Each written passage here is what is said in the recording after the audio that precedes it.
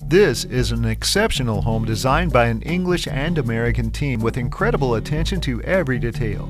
Multiple levels flow graciously from a two story foyer with an iron rail staircase. Period accents, extensive stone, tile, and sand finished flooring, soaring ceilings, beautiful crown molding, and more will be appreciated. A stunning great room overlooks the golf course. The kitchen is complete with commercial appliances and a gathering room. The master suite is on the main floor, and the bath includes granite surface surfaces, stone tiles, Moen spa jets in the walk in shower, and two story walk in closets. Upstairs offers a bedroom and bath, and a large second bedroom or rec room.